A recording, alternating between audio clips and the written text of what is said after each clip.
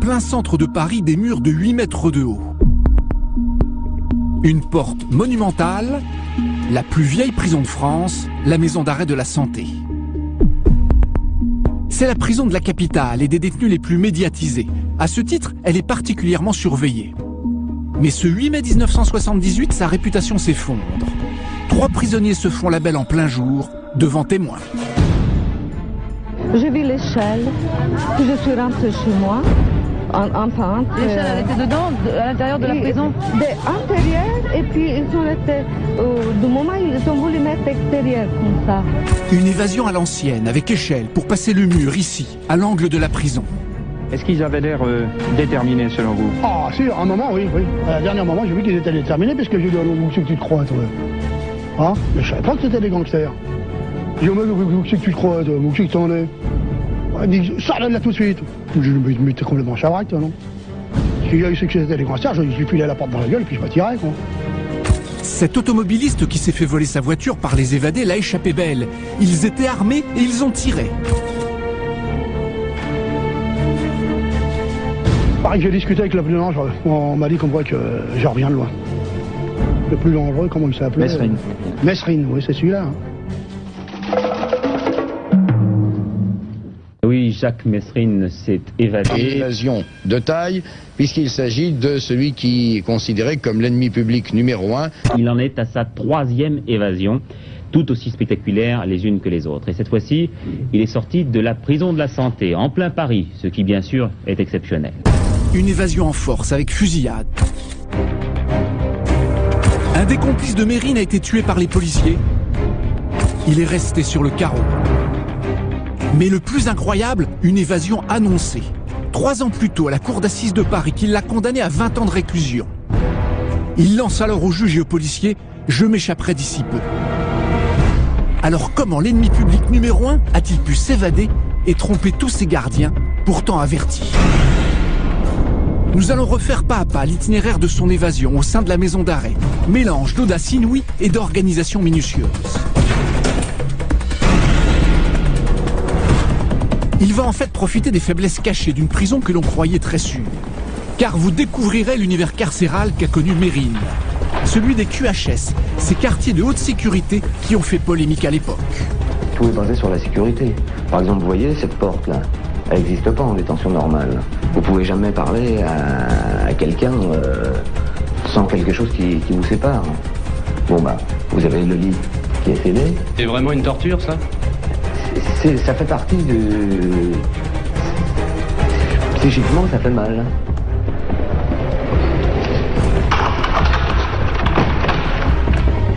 Il devait être impossible de s'en échapper. Mais Mérine a vite découvert que le QHS de la santé a été bricolé dans une prison vétuste, à bout de souffle et surpeuplée, aux conditions de vie dénoncées par les journalistes de l'époque. La plupart de ces euh, cellules sont vieilles, laides, euh, grotesques. On va voir euh, ce qu'il faut bien appeler la tinette, que vous voyez là-bas dans le fond. Et au-dessus de la tinette, il y a un petit un tuyau qui laisse tomber de l'eau. Eh bien, le détenu se lave. La prison était en pleine réfection. Des travaux qui ont révélé d'incroyables négligences en matière de sécurité. Dans le sas d'entrée à l'époque, pas de portique de détection. En principe, tout le monde était fouillé. Tout le monde, sauf certains privilégiés. Vous n'étiez pas fouillé là cette nuit. Ah non, non. Et qui ne sont toujours pas fouillés. Encore plus étonnant, par quel moyen Mérine obtient-il de faire transférer à la santé et dans son QHS un autre roi de l'évasion, François Besse, avec qui il se fera la belle? Enfin, il a réussi à berner tous les gardiens, en allant même jusqu'à les manipuler. Comment est-il arrivé à dicter sa loi à certains d'entre eux? Intimidation ou corruption? Après, il fait peur. C'était sa façon de faire. Et à partir de là, euh, bon, euh, les relations sont plus du tout les mêmes. C'est un évadé hors norme qui se fait la belle, avec un plan particulièrement audacieux pour vaincre une prison qui s'était endormie sur sa réputation. Vous connaissiez le gangster préféré des Français? Vous allez découvrir l'évadé le plus détesté de la pénitentiaire.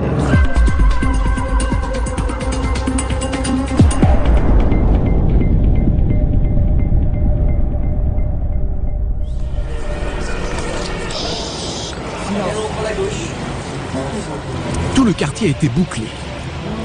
Une dizaine de motards déboulent à l'entrée de la rue de la Santé à Paris. Un cortège exceptionnel pour un personnage hors norme. Nous sommes en 2001. Les policiers escortent un homme dont les révélations risquent de mettre en cause des personnalités haut placées. Il est dans ce monospace. Il s'agit d'Alfred Sirvin, qui sera condamné dans la spectaculaire affaire Elf, un énorme dossier de corruption. Il ne doit rien lui arriver, alors il est incarcéré ici, dans une prison qui a l'avantage de ne pas être trop loin du palais de justice. La prison de la santé. Une maison d'arrêt devenue mythique, car elle est unique à Paris. Toutes les autres ont fermé. Elle accueille donc les protagonistes des grandes affaires du pays. C'est la prison des stars et des personnalités. Pour les avoir sous la main, les juges parisiens ont donc incarcéré ici Bernard Tapie, Pierre Botton, André Gelfi ou encore Loïc Le Floc Prigent dans de grosses enquêtes politico-financières. Ils sont tous passés sous le grand portail, tous un peu surpris de ce qui leur arrive, et toujours sous les flashs des photographes.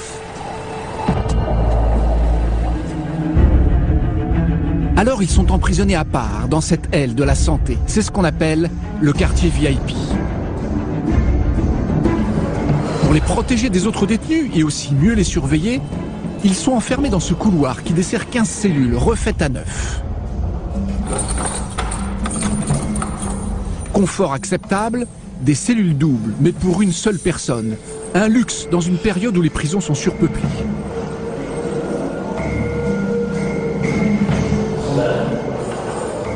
Des douches modernes et juste à côté une salle de sport leur sont exclusivement réservées.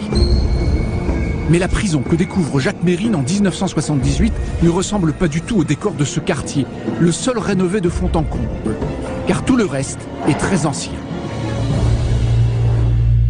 C'est une des plus vieilles prisons de France, construite en 1868, et vous allez voir en quoi sa vétusté sera un atout pour l'ennemi public numéro un. L'architecture n'a pas bougé, voici la cour d'honneur où l'on guillotinait les condamnés, l'entrée du bâtiment administratif et tout au fond du couloir, la détention. C'est le quartier bas. Il est verrouillé par une rotonde qui dessert les quatre ailes du bâtiment. Ce rond-point est gardé en permanence par un PC de sécurité. C'est l'endroit le plus sensible de la prison. Pour quitter les ailes du quartier bas, il faut impérativement passer par ce poste stratégique. Il commande les portes et les grilles, et il a été modernisé. Il dispose déjà de caméras de surveillance. Cabine 14 et demandez cabine avocat. La santé, c'est donc une grosse machine ultra sensible, car elle mélange des prisonniers VIP avec des détenus ordinaires. Claude Madec sera notre grand témoin. Il y commence sa carrière de surveillant à 19 ans quand Mérine y est emprisonné. La sécurité de la prison repose sur cette rotonde.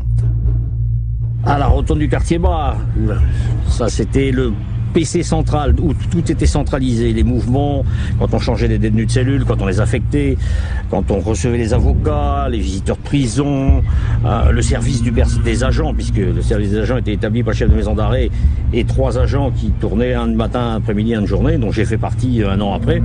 Euh, donc c'était le PC central, les voitures de palais, puisqu'il fallait commander les escortes pour les détenus dangereux. Là, on n'est pas le droit de se louper. Mais la prison de la capitale de la France était-elle à la hauteur du criminel qu'elle allait accueillir en 1975 Pas si sûr. Car peu de Français savent que Jacques Mérine est déjà un très grand professionnel de l'évasion. Six ans plus tôt, en 1969, il s'envole pour l'Amérique du Nord et acquiert là-bas une irremplaçable expérience des prisons parmi les plus sécuritaires du monde. C'est à Montréal qu'il bascule dans le grand banditisme. Une affaire de kidnapping et de meurtre Et le voilà incarcéré au pénitencier de Saint-Paul. Une prison à l'américaine, comme il n'en existe pas encore en France. Une unité spéciale de correction avec mirador moderne, gardiens qui ne cachent pas leurs armes et murs imposants. Rien à voir avec les vieux quartiers de la santé. Surtout le bâtiment disciplinaire, une aile à part où sera incarcéré Mérine.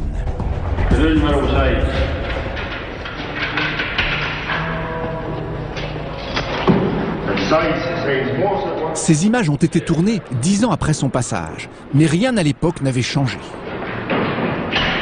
Isolement total dans des cellules particulièrement sécurisées, construites en béton armé, avec portes tout acier et surtout sans fenêtre extérieure. Beaucoup de prisonniers n'ont pas supporté ces conditions de détention.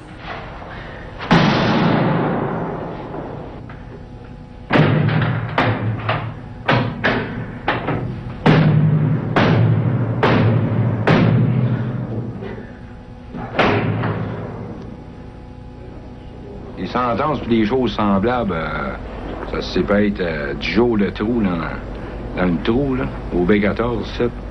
Ben non, du deadlock. Du deadlock, c'est qu'il t'enferme dans ta cellule de 7h à 11h le soir. C'est pareil comme s'il si, voudrait te faire mal, tu sais. Mérine vit très mal sa première expérience de quartier de haute sécurité.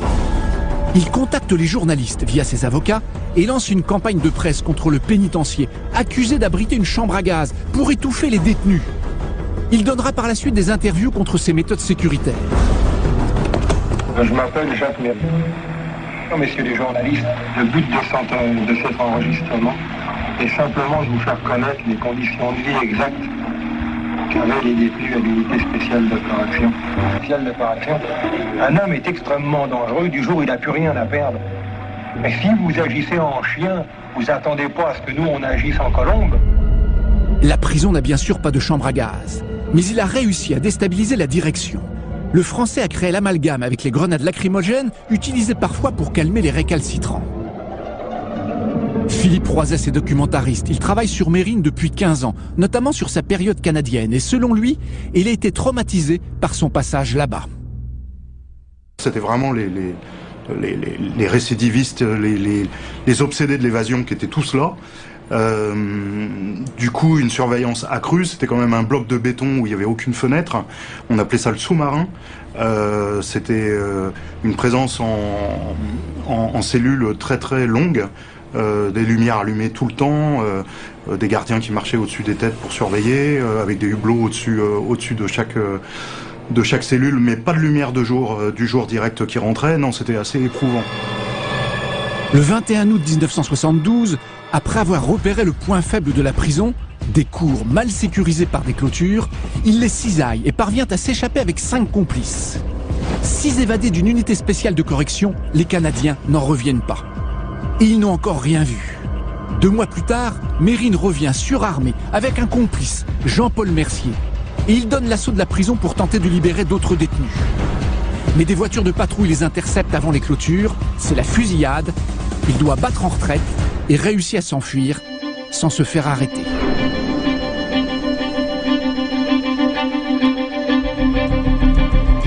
C'est la fin de l'aventure américaine où il est devenu un spécialiste de l'évasion, mais aussi une star des faits divers.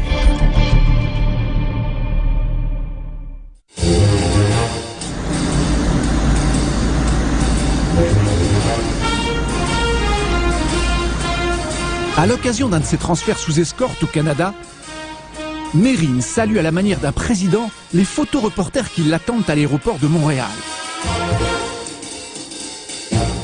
Lui et sa compagne sont mitraillés comme des VIP de la presse People. Le braqueur prend goût à la médiatisation, il ne veut plus être un gangster anonyme.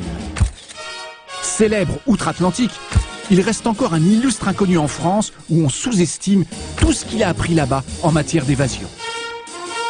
Et il va encore se perfectionner.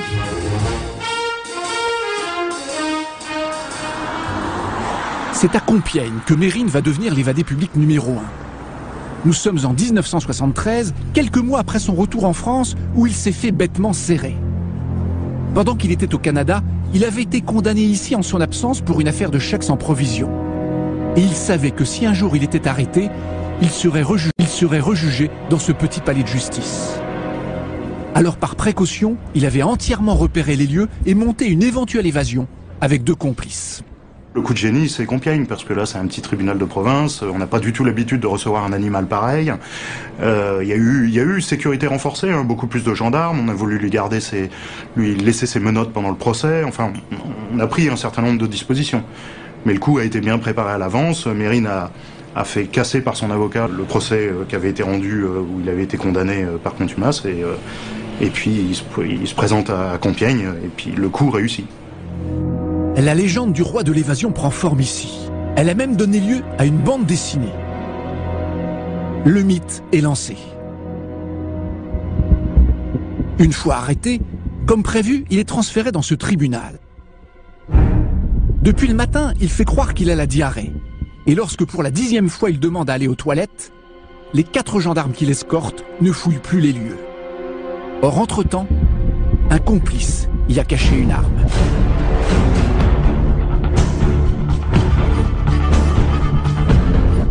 Il la dissimule sous sa veste et se laisse conduire dans la salle d'audience où il a affaire à un juge de remplacement.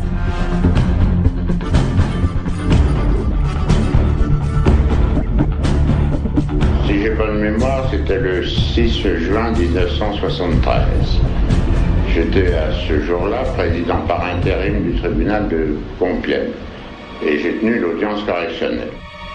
Pour le juge, c'est une toute petite affaire il ne se méfie pas. Subitement, Mérine braque les gendarmes et prend le président en otage. Il tire une balle en l'air pour montrer qu'il ne rigole pas. Baissez-vous tous ou je tue le juge. J'avoue, j'ai été stupé. Mérine et son otage sortent dans la cour. Le chef d'escorte s'interpose. Le truand tire, mais pas en l'air cette fois. Il le rate de peu. Le président est pétrifié. Là, il a vu la voiture d'un complice qui l'attendait. Mais de nouveaux gendarmes arrivent, c'est la fusillade. Mérine est touché à l'épaule. Cependant, son opération est bien montée. Un complice est juste là, dans une voiture, moteur tournant. Il reste une estafette des forces de l'ordre à passer. Mérine tire, il blesse un gendarme. La voie est libre, il disparaît dans la nature. Sa première évasion sur le sol français signe son passage dans le grand banditisme. Mais au lieu de se cacher en province, il veut jouer les cadors à Paris. Il enquille braquage de banque sur braquage de banque. Il en attaque 5 en 4 mois, alors il se fait vite repérer par les superflics de la capitale. Et le 27 septembre 1973, ici, lors de ce casse, il est balancé par un de ses complices au fameux commissaire Broussard, alors chef de la brigade anti-gang, qui le cueille chez lui le lendemain. Assoiffé de reconnaissance, Mérine met en scène son arrestation auprès du patron de l'anti-gang, lui-même en quête de médiatisation. Voilà pourquoi la presse aura tous les détails de ce nouvel épisode de la légende Mérine. Jacques Mérine a été capturé par les hommes des commissaires Broussard et Leclerc. Réfugié avec une amie dans un appartement de la rue Vergniaud, il a accepté de se rendre en exigeant des policiers qu'il laisse partir sa compagne libre. Le commissaire a été obligé de passer sa carte de la préfecture sous l'huisse de l'appartement et lorsque Jacques Mérine a été certain d'avoir affaire à l'as des anti-gangs, il lui a ouvert le champagne à la main, ses nombreuses armes déchargées près de lui. Mérine a d'ailleurs prévenu qu'il s'évaderait à nouveau. Effectivement, champagne à la main, il jure au commissaire Broussard Je me donne trois ans pour m'évader. Maintenant, comment organiser une belle après avoir prévenu tout le monde? Eh bien, Mérine va manipuler tout le monde, c'est la clé de sa future évasion, la plus incroyable.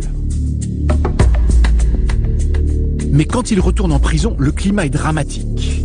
Tout s'enflamme à l'été 74. La centrale de Clairvaux se révolte pour de meilleures conditions de vie. Eh bien, il est maintenant 1h du matin et vous le voyez peut-être derrière moi, nous sommes sur une colline qui domine la centrale de Clairvaux. Les mutins viennent donc euh, d'allumer ce feu. La moitié des bâtiments est incendiée. Des gendarmes mobiles et des CRS sont immédiatement dépêchés afin d'éviter une contagion aux autres prisons. Mais les détenus ne se laissent pas faire. La mutinerie très grave qui s'est poursuivie toute la nuit à la prison de Clairvaux a pris fin au début de la matinée sur le bilan de deux morts et une quinzaine de blessés parmi les mutins. C'est l'étincelle qui met le feu à la plus grande mutinerie de la pénitentiaire. Trois autres prisons se révoltent. La mutinerie à la maison centrale de Nîmes hier soir aurait éclaté pour les mêmes raisons que celle de la prison de Clairvaux dans la nuit de vendredi à samedi. Très vite, c'est l'état de siège, car au total, 120 prisons se mutinent. 11 centres de détention sont saccagés et au final, 6 détenus sont tués dans des affrontements. Tout a commencé tout à l'heure à 14h30, juste après la promenade. Certains jeunes mécontents ont décidé de faire comme dans les zones de prison, celle de Caen, celle de Nîmes, celle de Clairvaux, de faire quelque chose. Un immense désordre qui pourrait servir les projets d'évasion de Mérine. Mais étroitement surveillé, il est immédiatement transféré dès qu'une mutinerie se déclenche. L'occasion ne se présentera pas. Car le nouveau président de la République prend le dossier des prisons et il va lui compliquer les choses. Euh, vous savez que pour moi, le problème pénitentiaire est un problème auquel j'ai attaché beaucoup d'importance, c'est la prise de fonction. J'avais tenu euh, à ce que dans le gouvernement figure pour la première fois un secrétaire d'État à la condition pénitentiaire, secrétaire d'État qui est une femme, euh, pour montrer le, la nécessité d'une action dans ce domaine et d'une évolution. Ça, c'est la carotte, une détention plus humaine. Et au cours de sa visite, il serre même la main d'un détenu, ce qui fera scandale auprès d'une partie de l'opinion qui exige plus de sévérité. Alors d'un autre côté, il y a le bâton, c'est son ministre de la Justice qui s'en charge.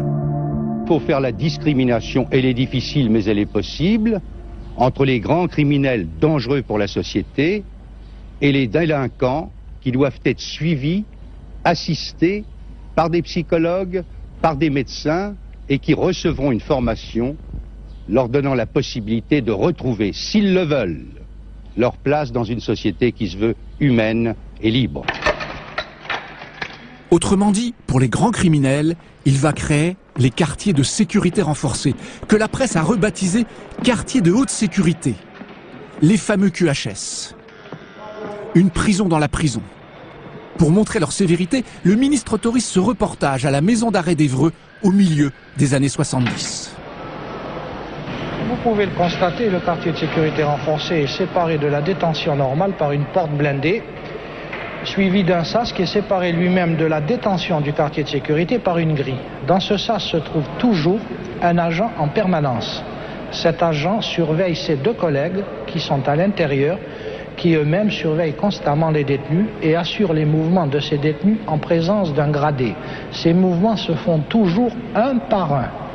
De ce fait, il n'y a jamais en circulation dans le quartier de sécurité renforcé de deux détenus à la fois. Pour être homologué, un QHS doit avoir un sas blindé, avec un gardien en permanence qui observe tout, protégé, derrière sa grille.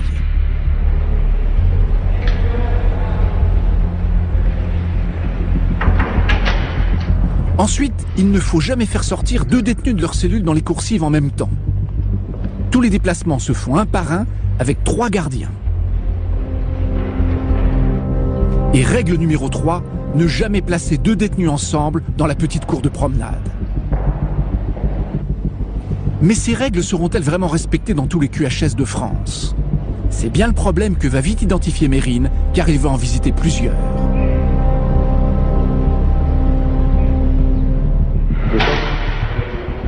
Première sécurité des QHS, ce sont les gardiens.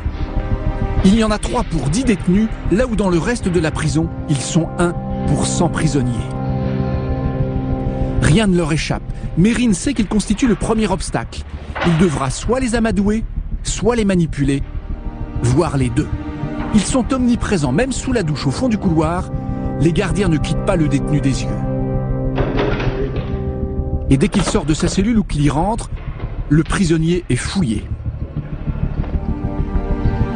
Bon, allez, déshabillez-vous. Complètement. Vous mettez dans le coin. Et vous posez les affaires par ici.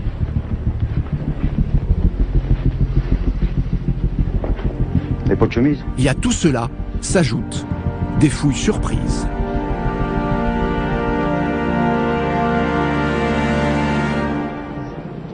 Une fouille surprise euh, qui est décidée le matin lorsque, lorsque j'arrive prendre mon service. C'est moi qui établis les fouilles sur un cahier. Alors sur un cahier, je donne deux noms, deux noms de, détenus, un le matin, un l'après-midi. Et ces deux, détenus, en principe, euh, sont fouillés corporellement euh, ici, dans ce local. Pour éviter que ces fouilles soient trop approfondies, Mérine devra imaginer une astuce afin d'endormir la surveillance des gardiens. Puis il y a les parloirs, là encore spécialement aménagés au QHS et renforcés par rapport à la détention normale. Les parloirs de la détention normale ont été construits avec des panneaux de bois. Ceux-ci ont été construits avec des agglomérés de ciment, ce qui euh, élimine totalement le passage de lame de scie à travers les jointures. Le seul point de communication qu'a le détenu est l'hygiaphone. Les parloirs QHS doivent être en ciment, du sol au plafond, avec grille à l'entrée. Mais là encore, Mérine en trouvera avec porte vitrée et faux plafond en bois qui se révéleront des caches précieuses. Enfin, il y a les cellules, elles aussi spéciales. La porte en bois est doublée d'une grille avec un passe-plat pour ne pas avoir à l'ouvrir au moment des repas. Comment faire ouvrir cette grille pour s'échapper? Encore un obstacle pour Mérine. Puis, il y a la fenêtre. La fenêtre, bon, vous avez les barreaux, c'est dans toutes les prisons. Mais derrière, c'est bouché. Vous n'avez aucune vision, le champ de vue est complètement bouché. Des vitres opaques. Mais Mérine aura absolument besoin de voir ce qui se passe dehors pour son évasion. Bref, comment va-t-il se débrouiller pour s'arracher de ces redoutables QHS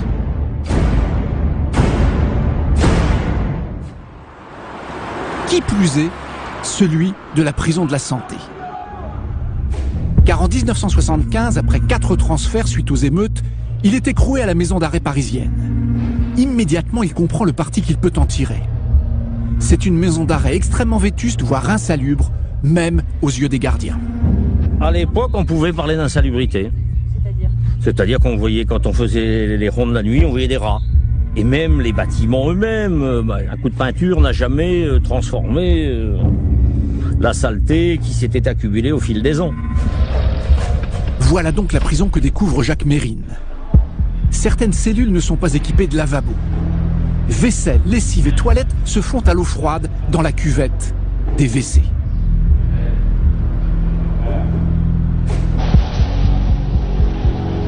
Quant aux douches, trois fois par semaine, elles sont dans un état lamentable. Peinture rongée par l'humidité, tuyaux complètement rouillés, murs décrépits. Des pièces sinistres, plongées dans une semi-pénombre, sans compter les pommeaux de douche hors d'état qu'il faut constamment rafistoler. La prison est alors à bout de souffle. Certaines cellules sont tellement dégradées qu'elles ont été laissées à l'abandon faute d'argent pour les rénover.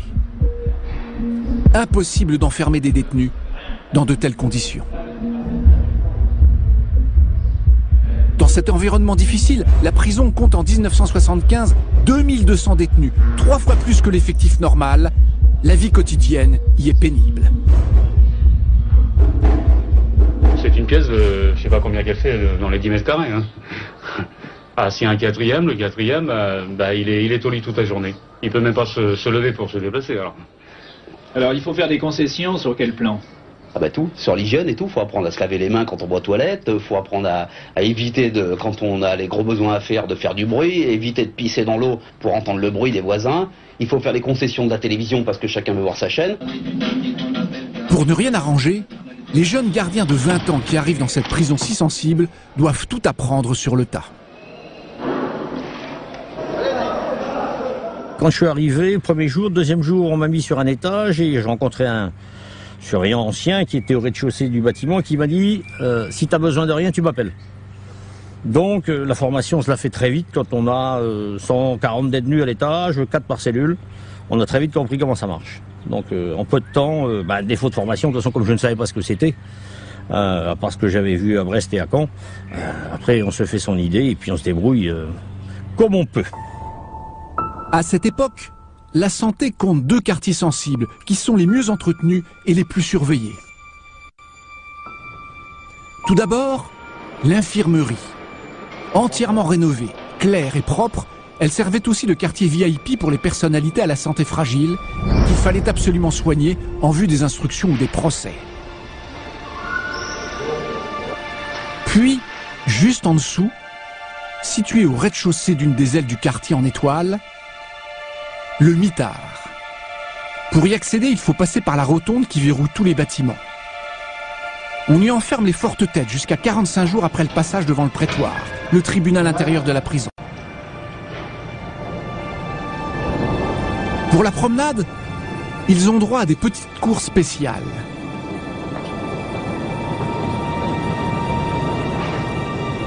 Des cages grillagées, même pas à ciel ouvert, dans lesquelles ils restent à l'isolement absolu, car ils n'ont pas le droit de la partager avec un codétenu.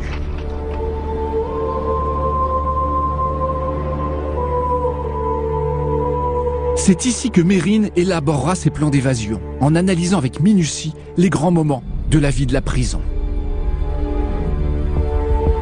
Tant que les détenus sont en cellule, les coursifs sont calmes.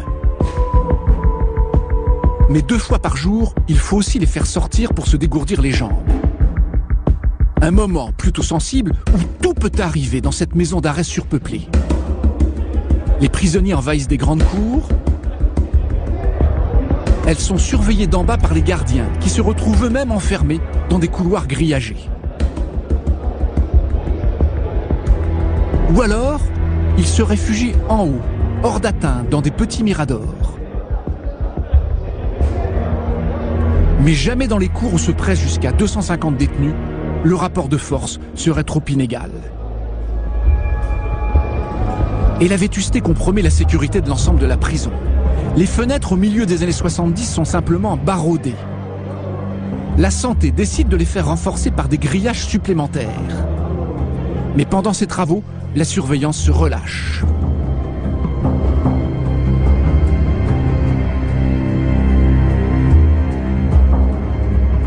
Ultime rempart, deux murs d'enceinte et un chemin de ronde. Mais pas de véritable mirador qui domine l'établissement. Aux endroits stratégiques, de simples guérites équipées d'une carabine.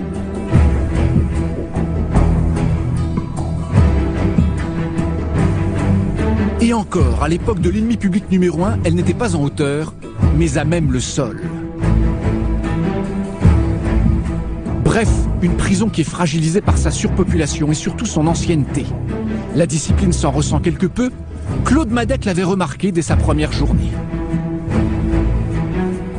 Première journée, ça a été la visite de l'établissement. Et à la fin, la rencontre avec le chef de maison d'arrêt. C'est vrai que je m'étais permis de lui dire que je trouvais que c'était un petit peu le bazar, pour rester poli, par rapport à la maison d'arrêt de Caen qui était très disciplinée. La maison d'arrêt de la santé, c'était grande circulation entre les avocats qui étaient à mi-chemin entre le quartier haut et le quartier bas. Les détenus circulaient, que ce soit pour l'infirmerie, pour les avocats, pour le palais de justice, pour les parloirs famille. Donc effectivement, il y avait tout le temps, tout le temps euh, des gens en civil qui se promenaient euh, dans les couloirs. Et donc, il n'est pas toujours facile. Pas facile de savoir qui était qui, surtout quand on arrive d'un établissement qui était très carré. Et c'est dans ces conditions que le ministère de la Justice décide d'y créer un QHS, juste avant l'arrivée de Mérine. Et il va se rendre compte qu'il n'est pas aux normes. Impossible d'en construire un vrai comme à Évreux. La prison est trop vétuste. On a bricolé un sous-QHS.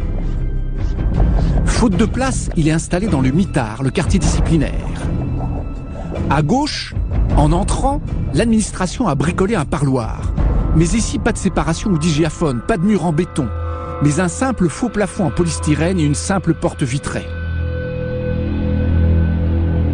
Puis suivent les cellules du QHS, séparées du reste du mitard par une seule grille. Mais sans sas de sécurité avec un surveillant de garde comme à Évreux. D'un côté, les cellules disciplinaires et à droite, le prétoire, le tribunal interne de la prison, où l'on juge les infractions au règlement. Et c'est un point faible, car trois fois par semaine, les deux sous-directeurs et le chef de détention s'y rendent pour juger les détenus indisciplinés. À eux trois, ils ont la plupart des clés de la prison. Le tout à quelques mètres du QHS par lequel ils doivent obligatoirement passer. Enfin, dernier bricolage, dans le bâtiment du QHS, les fenêtres ne sont pas toutes occultées. Mérine peut voir ce qui se passe dans la grande cour. Seules les portes ont bien été renforcées par la grille passe-plat, mais c'est insuffisant. À partir du moment où on, essaye d'aménager un quartier différent dans un établissement qui est déjà sur, surpeuplé, parce qu'à l'époque c'était surpeuplé, et ben on a fait ça euh, là où on a pensé que c'était le meilleur endroit. Alors qu'effectivement c'était totalement inadapté à la situation. Le QHS est mal sécurisé. Voilà pourquoi Mérine va tout faire pour y rester. Son unique moyen, c'est le palais de justice de Paris. Tant qu'il a des dossiers à l'instruction ici, il a toutes les chances de ne pas être transféré dans une autre prison en province. Alors il s'accuse même de meurtres imaginaires et engage pour chaque affaire un avocat supplémentaire. À la fin, il en a 17. C'est un élément décisif de sa stratégie d'évasion. Tous les jours, ils viennent le voir au QHS, ce qui lui permet de gagner en liberté de mouvement. Il sort constamment de sa cellule pour aller au parloir. Est-ce que ça pose un problème en termes de sécurité Ah, ça oui, parce que à chaque fois que euh, il faut sortir euh, ce gens-là, ces gens-là de leur cellule, faut les accompagner, c'est la fouille, donc ce sont encore des moments de tension, parce que là effectivement on sait qu'on va aller vers euh, un moment de tension supplémentaire. Donc plus il y a de visites euh, d'avocats, à chaque fois c'est la fouille, euh, à chaque fois il va provoquer, parce que c'est inéluctable. Donc effectivement, euh, moins on voyait de visites, je dirais, pour ces gens-là, et, et mieux on se porte. Il trouve ensuite un autre moyen pour tenter d'alléger la sécurité. Il lance via ses avocats une campagne anti-QHS. À l'époque, le débat fait rage contre ces quartiers sécurisés, accusés de transformer les prisonniers en bêtes fauves. Tous les détenus étaient très remontés, à commencer par ceux du QHS modèle d'Evreux. Vous avez le lit qui est scellé, vous avez le tabouret qui est scellé. Alors, à chaque fois que vous voulez vous asseoir pour écrire, pour manger, vous prenez la manie de, de le tirer à vous. Et c'est vraiment une torture, ça? C'est- ça fait partie de... Psychiquement, ça fait mal. Moi, j'ai plutôt l'impression qu'on m'a mis aux oubliettes. Hein? On a dit, bon, bah, il a fait une bêtise, allez hop, euh, illuminé. La polémique gagne la télévision. Opposants et partisans des QHS s'étripent sur les plateaux des magazines. Les quartiers de sécurité renforcée sont, font partie du système normal pénitentiaire. C'est une prison dans la prison. C'est une prison dans la prison, en un sens oui. Une forme de tête de torture. Je ne dis pas que ce soit idéal. Que le fait d'être soumis à l'isolement vous détruit une personne. On ne peut pas être entièrement d'accord, Ça, vous ça, le comprendrez, avec ce qui vient d'être dit. C'est ce que les détenus appellent un traitement concentrationnaire. Mérine poursuivra même après son évasion cette campagne de presse où le réédite la bagarre contre les QHS du Canada qui selon lui a inculqué la haine. Il tente de gommer son image de gangster violent pour celle d'un Robin des Bois plus sympathique. Vous comprenez, j'ai pris la haine en quartier de sécurité. Comprenez une chose, quand vous voyez qu'on vous défend, on vous déchire les photos de votre femme, qu'on vous supprime une lettre de votre femme, c'est dans le seul but de détruire un homme. Moi, on me l'a fait. Un type qui est enfermé dans un quartier de haute sécurité, que doit-il faire Accepter S'écraser Se laisser humilier Se laisser dés- déshumaniser Se laisser détruire et ne pas bouger Moi, j'ai pas accepté cette destruction. Mais surtout, ce débat en fait une personnalité médiatique quasi intouchable. Des paparazzis le photographient depuis les immeubles alentours lors de ses promenades. Certains gardiens en ont peur, ils commencent à les déstabiliser.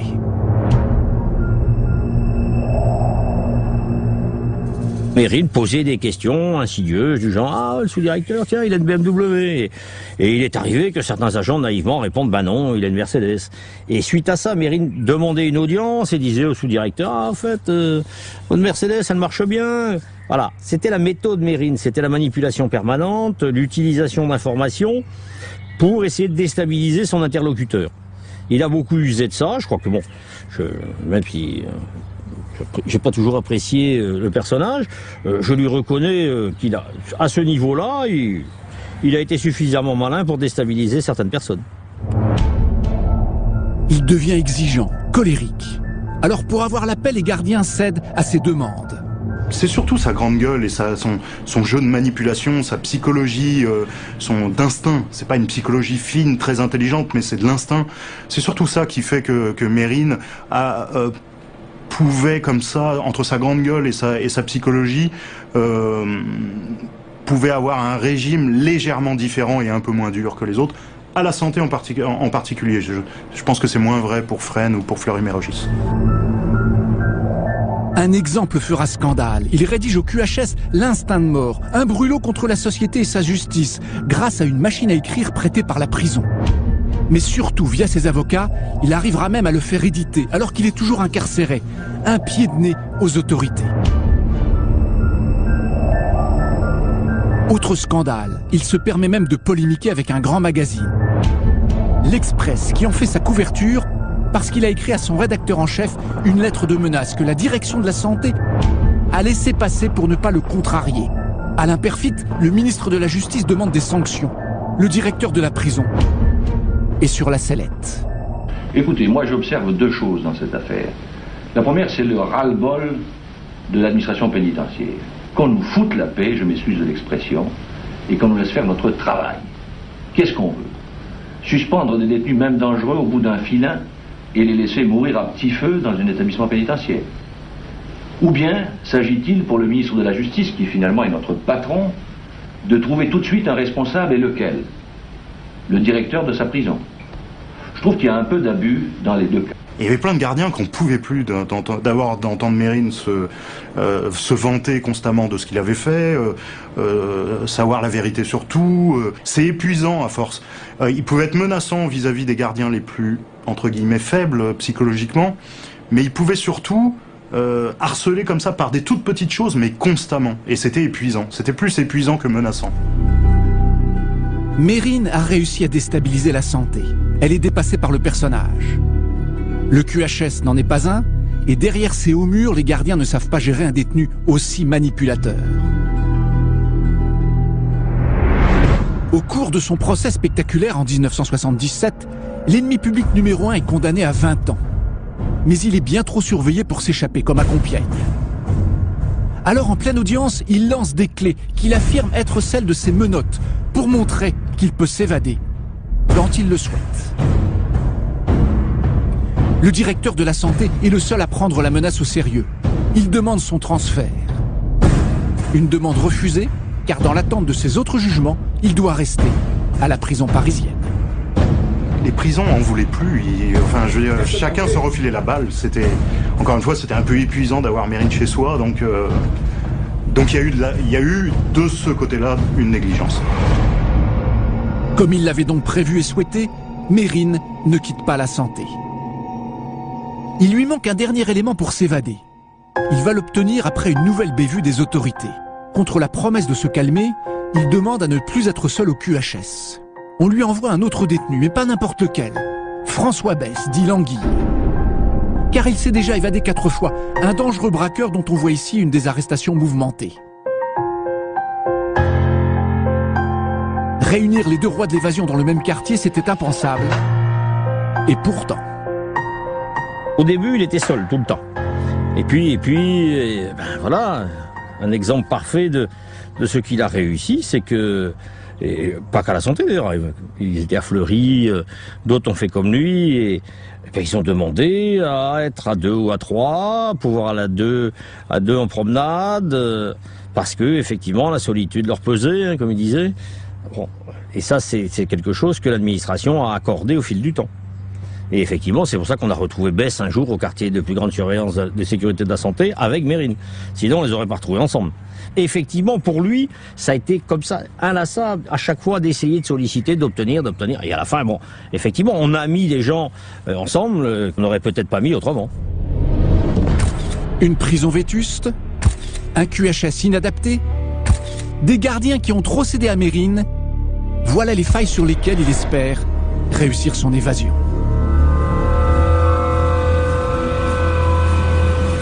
9h du matin, c'est une nouvelle journée de routine qui commence à la prison de la santé. Pourtant, toute l'affaire démarre ce 8 mai 1978, avec l'arrivée d'une des avocates de mairie, Maître Giletti. Le détenu en a pris une quinzaine pour le défendre dans toutes ses affaires. Le 8 au matin, parce que ça quand même, je suis pas prêt à l'oublier, le 8 au matin, j'ai relevé toutes les visites de, de Mérine au cours du premier semestre 78 et tous les courriers à qui il les envoyait, effectivement, il avait de très nombreux avocats. Combien? 16, je crois. 16 ou 17. Il y a certains avocats ben, qui, qui ont accepté en certaines occasions. Bon, là, en l'occurrence, on n'a jamais eu la preuve, mais...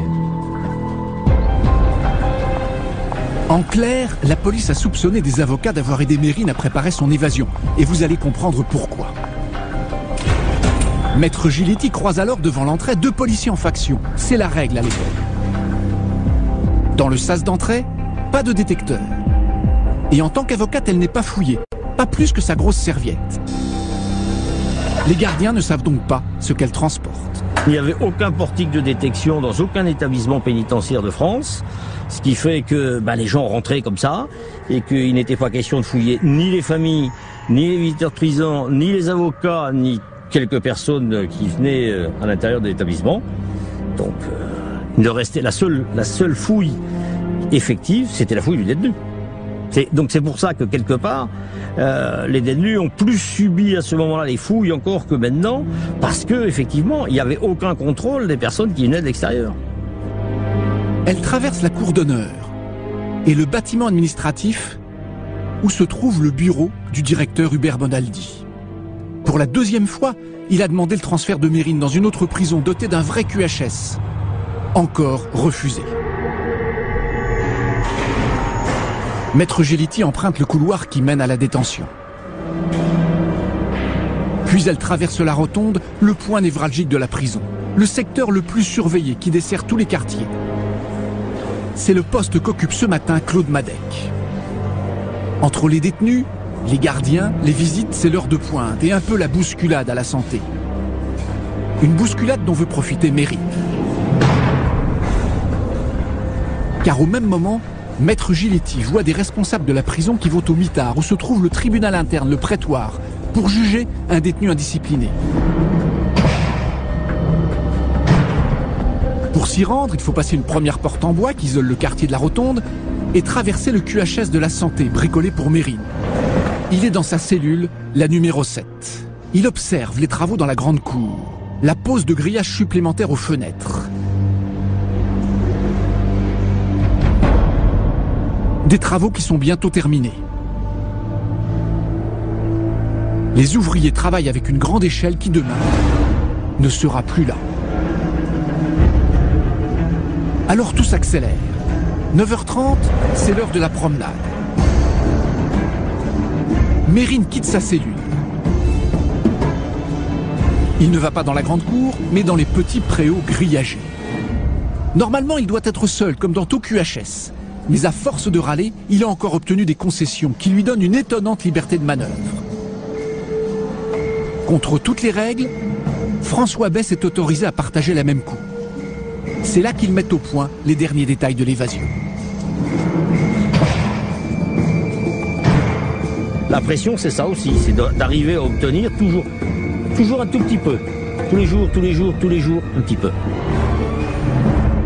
Pendant ce temps, juste en face, dans le bâtiment côté mitard, une audience commence au prétoire. Et à l'autre bout du quartier, cette fois-ci de l'autre côté de la grille, côté QHS, Maître Giletti est enfin arrivé au parloir.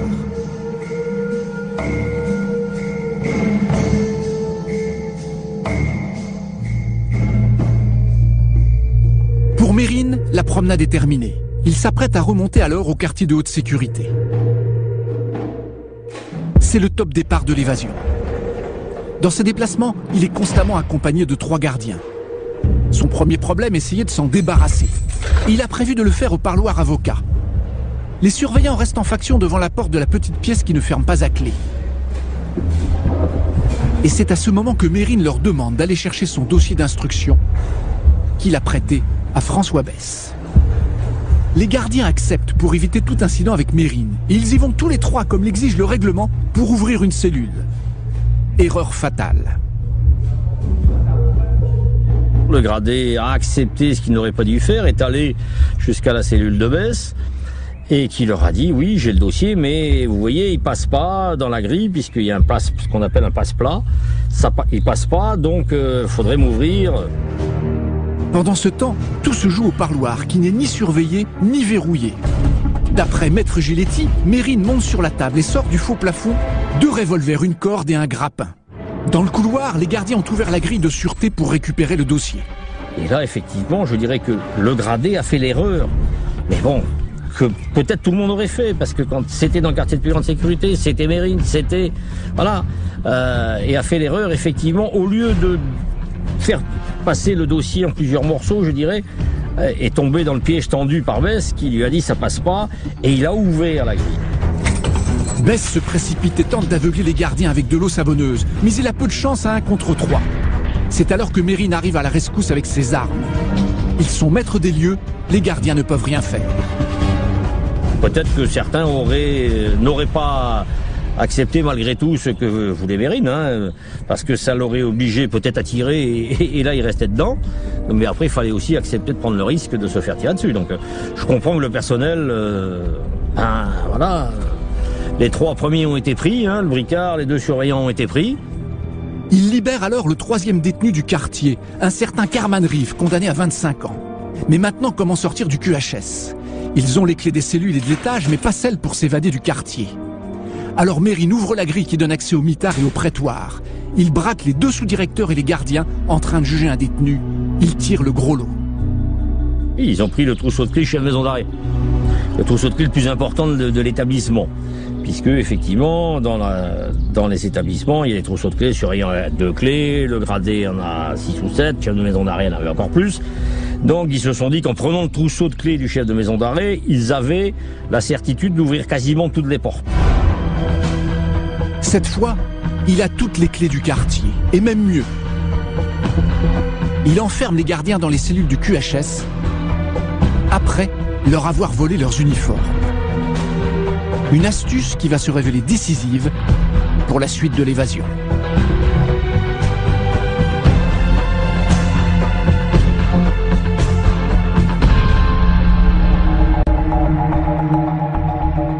Avec les clés, ils ouvrent la porte qui donne sur la grande cour de la première division et longent le grillage qui l'entoure, personne ne les remarque. Ils arrivent jusqu'à l'échelle et aux ouvriers qui sont en train de renforcer les fenêtres. Là, ils les braquent et leur ordonnent de les suivre. Mais impossible de passer par la rotonde, trop surveillée, même en tenue de surveillant. Seule issue, une porte qui permet de passer de la cour au chemin de ronde entre deux murs. Normalement, elle est verrouillée, seulement voilà, ils vont profiter du laxisme qui règne alors à la santé.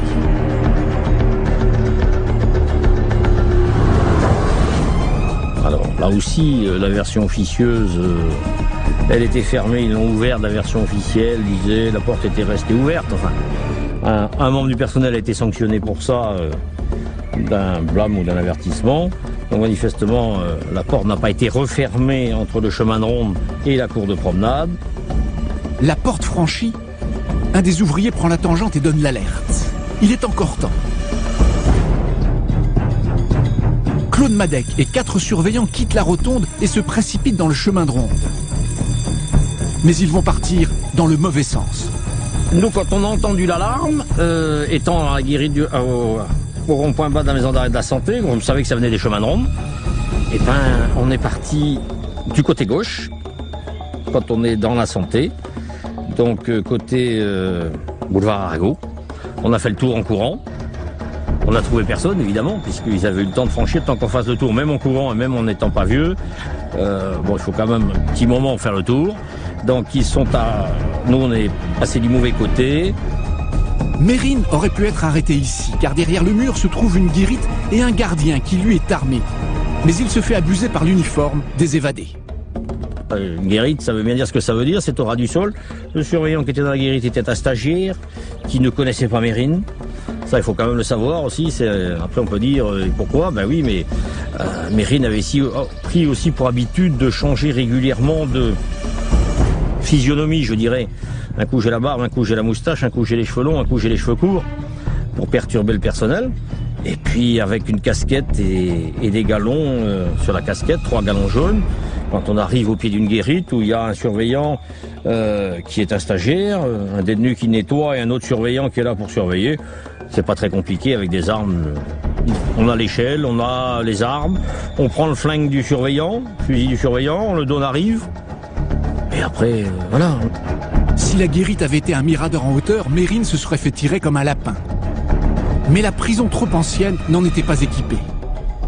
Les fuyards posent l'échelle, Bess passe le premier, puis c'est au tour de Mérine.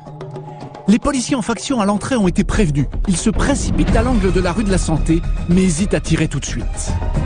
C'est effectivement ce qui a fait la force de Mérine et de Bess sur cette affaire-là, c'est d'avoir pensé qu'il fallait s'habiller en tenue pour franchir le mur d'enceinte. Parce que je pense que si les policiers avaient vu deux types en civil descendre, euh, les choses n'auraient pas été euh, pareilles. Mais la tenue a fait que, voilà. Vient le tour de Carman Rive qui a pris la carabine du gardien. La fusillade éclate. Pendant ce temps, Mérine et Bess arrêtent une voiture. Là encore, leur uniforme fait illusion. Si y a eu ceux qui étaient des gangsters, je lui filais la porte dans la gueule et puis je me tirais, quoi. Mais moi, je croyais que c'était des. des matons, ils étaient des- déguisés en matons. Alors, je... Est-ce qu'ils Et quand avaient- ils se sont tirés avec ma j'ai dit, ça y est, je suis marrant. Est-ce qu'ils avaient l'uniforme complet de. Oui, oui, gardien absolument. ouais. Absolument. Ils avaient la casquette et puis ils avaient cette espèce de blouson, comme, comme les matons. Il s'enfuit au moment même où Carman Reeve s'écroule, mortellement touché. Claude Madec et les surveillants se précipitent dehors pour identifier le prisonnier qui a été abattu. Car ils ne savent toujours pas qui sont les évadés. Ils découvrent Carman Reeve qui était au QHS. Ils comprennent tout de suite que les deux autres fugitifs doivent être Mérine et Bess. Immédiatement, ils retournent dans la prison. Ils traversent la cour d'honneur, entrent en détention, passent la rotonde et pénètrent dans le QHS. Et là, c'est le choc. Ils découvrent dans les cellules 10 surveillants emprisonnés, dont les sous-directeurs. L'ennemi public numéro un, le détenu le plus surveillé de France, les a tous floués. Alors bien sûr, la question numéro un est de savoir si Mesrine a bénéficié ou non de complicité. Comment l'homme a-t-il bien pu se procurer trois pistolets? L'avocate peut-elle être soupçonnée? Évidemment, tous les regards se tournent vers elle, Maître Giletti, qui n'a pas donné l'alerte, même une fois Mérine hors du QHS. Mais il la disculpera plus tard dans une interview donnée à un grand magazine pour faire état d'un gardien corrompu. Mon complice, ce n'est pas l'avocate. C'est un maton idéaliste et gauchiste. L'un d'eux, il y a deux ans, m'a dit Vous comprenez, Mérine Si vous montiez quelque chose, je serais prêt à vous aider. J'ai d'abord cru à une plaisanterie, puis je me suis aperçu que cet homme était un révolté. Si tu peux réussir à me porter des armes pendant les rondes de nuit, tu le mettras dans le parloir des avocats. Rentrer avec une arme quand on est en uniforme, euh, pas très pratique, hein, cette affaire. Pour une infirmière non plus, donc, mais euh, bon, euh, là aussi, puisqu'on rentrait pas de sac, euh, pas question de rentrer avec son sac à dos dans la prison. Seuls les avocats rentraient avec leur serviette ou leur cabas ou leur sac à main, oui, mais pas, pas le personnel, pas les infirmières, pas tous ces gens-là. Donc, Les seules personnes qui rentraient avec un sac, une sacoche, etc., c'est les avocats. avocat, visiteur de prison.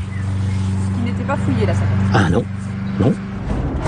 L'enquête commence. Il faut procéder à une reconstitution dans tout le QHS, mais surtout au parloir d'où Mérine est ressorti armé. Seulement voilà, entre-temps, la pénitentiaire a fait des travaux et supprimé des indices, une grosse bévue, selon le magistrat instructeur. Au lieu de saisir tout de suite un juge d'instruction, que ce soit moi ou un de mes collègues, c'est l'inspection générale des services pénitentiaires qui a pris le dessus, qui a mené une enquête interne, administrative. Et lorsque j'ai reçu le dossier quelques huit jours après, euh, les lieux avaient été beaucoup bougés, remués, touchés, notamment ce parloir d'avocats. L'avocate clame son innocence. Et faute de preuves, le juge lui fait bénéficier d'un non-lieu. Mais il n'identifiera jamais de gardien corrompu. Mérine entame une folle cavale de 17 mois au fait de sa célébrité. Son évasion du QHS de la santé, digne d'un film policier, en fait une des personnalités préférées des Français en 1978. Il est la star qu'il voulait être. Inacceptable pour les autorités qui mettent le paquet afin de le retrouver. Son statut du roi de l'évasion pèsera dans la balance. Pas de risque et pas de cadeau. Il ne faut pas le laisser filer si on le trouve.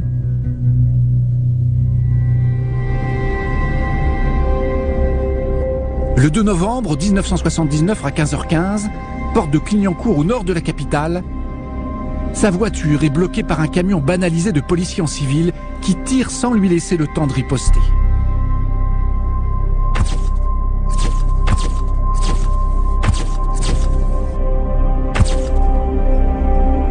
Il est tué de 18 balles de gros calibre. Sa compagne est grièvement blessée, mais elle s'en sortira. Dans une cohue indescriptible, les policiers ont un mal fou à extraire le corps du gangster. Mérine mort, la légende lui survivra. Et sa spectaculaire évasion de la santé y figure en très bonne place.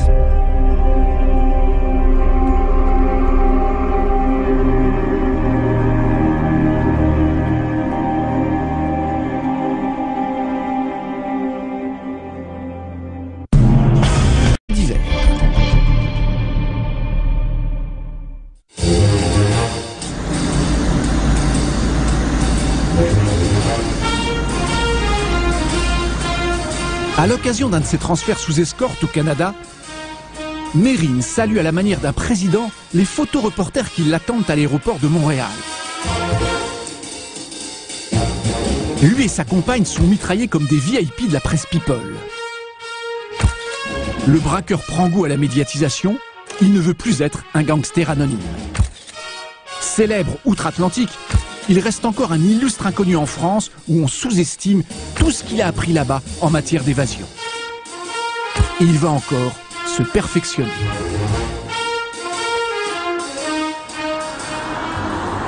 C'est à Compiègne que Mérine va devenir l'évadé public numéro un. Nous sommes en 1973, quelques mois après son retour en France où il s'est fait bêtement serrer. Pendant qu'il était au Canada, il avait été condamné ici en son absence pour une affaire de chèques sans provision. Et il savait que si un jour il était arrêté, il serait, rejugé dans ce petit palais de justice.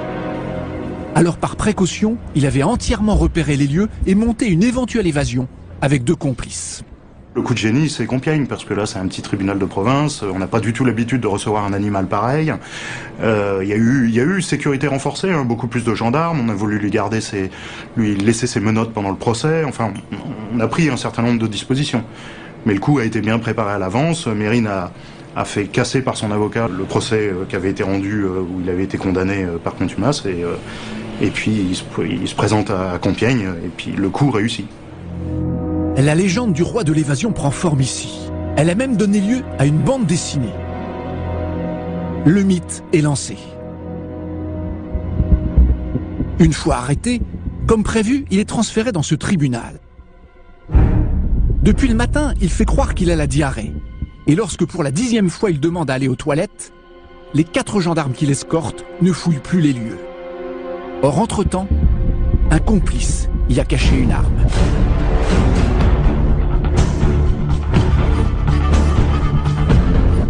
Il la dissimule sous sa veste et se laisse conduire dans la salle d'audience où il a affaire à un juge de remplacement.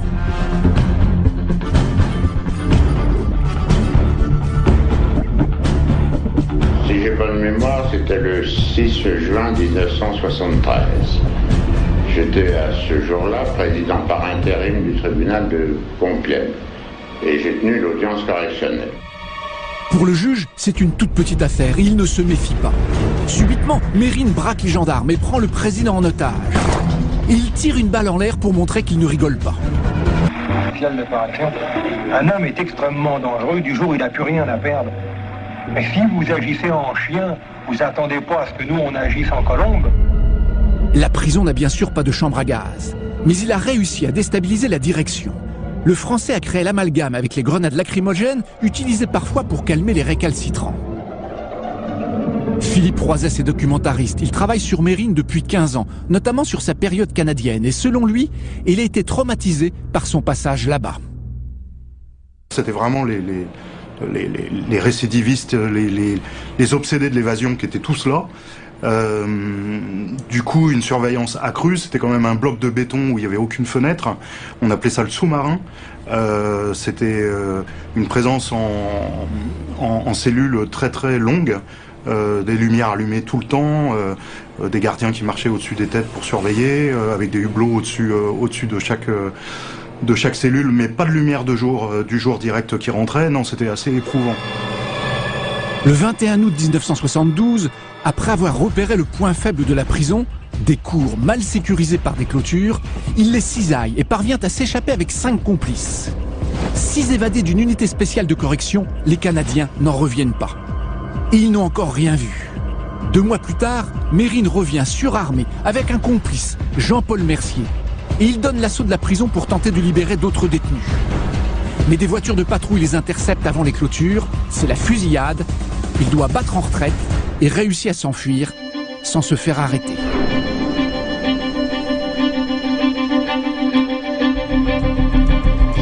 C'est la fin de l'aventure américaine où il est devenu un spécialiste de l'évasion, mais aussi une star des faits divers.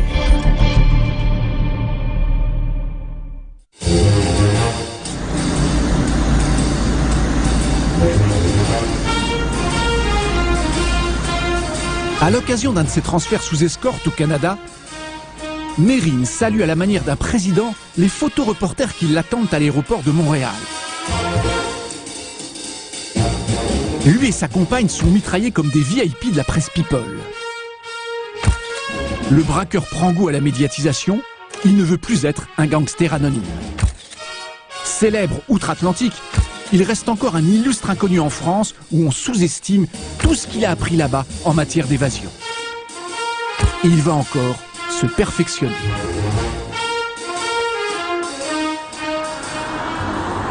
C'est à Compiègne que Mérine va devenir l'évadé public numéro un. Nous sommes en 1973, quelques mois après son retour en France, où il s'est fait bêtement serrer.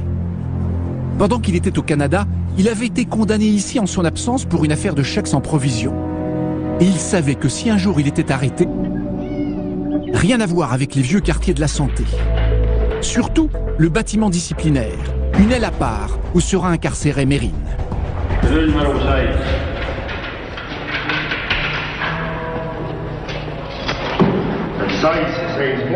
Ces images ont été tournées dix ans après son passage, mais rien à l'époque n'avait changé.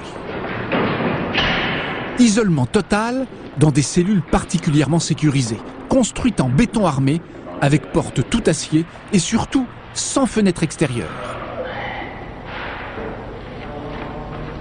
Beaucoup de prisonniers n'ont pas supporté ces conditions de détention.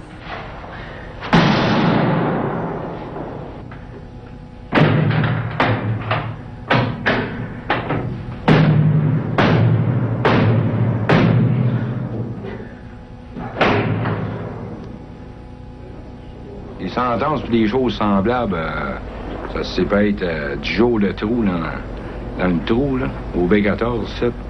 Ben non, du deadlock. Du deadlock, c'est des t'enfermes dans ta cellule de 7h à 11h le soir. C'est pareil comme si, si voudrait te faire mal, tu sais. Mérine vit très mal sa première expérience de quartier de haute sécurité. Il contacte les journalistes via ses avocats et lance une campagne de presse contre le pénitencier, accusé d'abriter une chambre à gaz pour étouffer les détenus. Il donnera par la suite des interviews contre ses méthodes sécuritaires. Je m'appelle Jacques Mérine. Messieurs les journalistes, le but de de cet enregistrement est simplement de vous faire connaître les conditions de vie exactes qu'avaient les détenus à l'unité spéciale d'opération. Spéciale d'opération. Un homme est extrêmement dangereux du jour où il n'a plus rien à perdre. Mais si vous agissez en chien, vous attendez pas à ce que nous on agisse en colombe. La prison n'a bien sûr pas de chambre à gaz, mais il a réussi à déstabiliser la direction.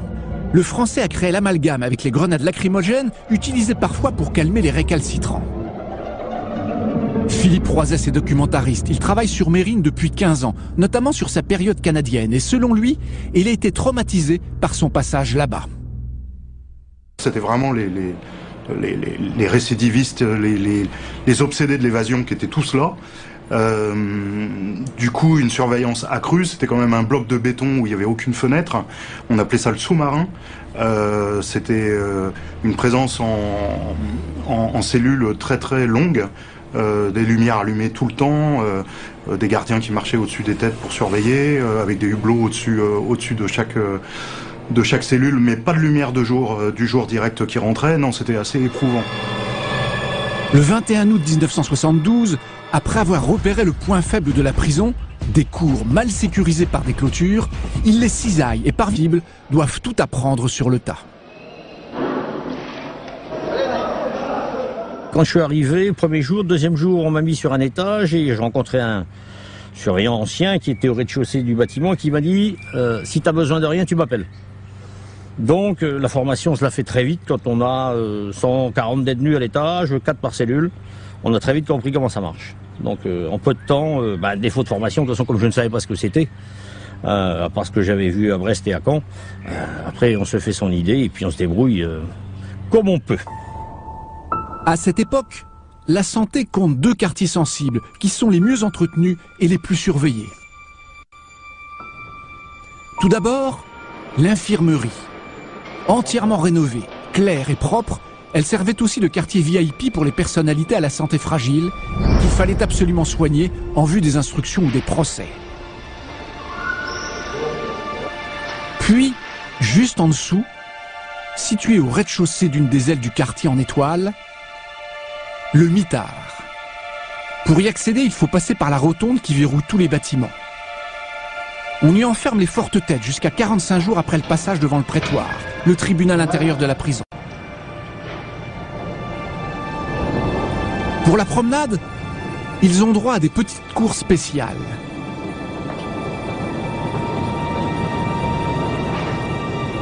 Des cages grillagées, même pas à ciel ouvert, dans lesquelles ils restent à l'isolement absolu, car ils n'ont pas le droit de la partager avec un codétenu.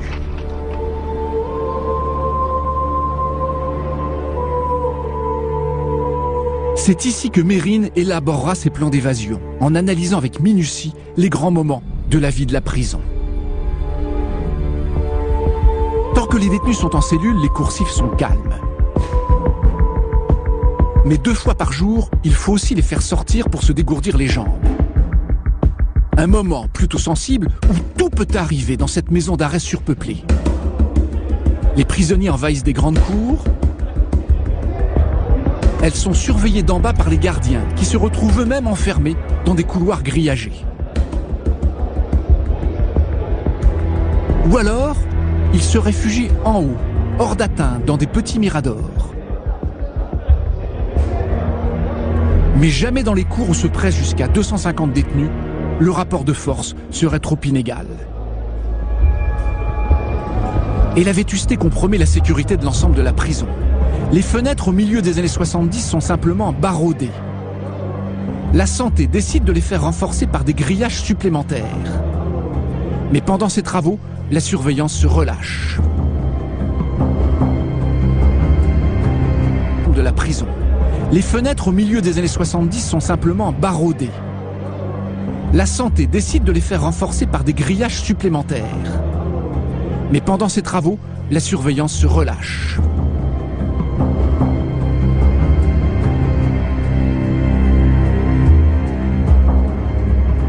Ultime rempart, deux murs d'enceinte et un chemin de ronde. Mais pas de véritable mirador qui domine l'établissement. Aux endroits stratégiques, de simples guérites équipées d'une carabine.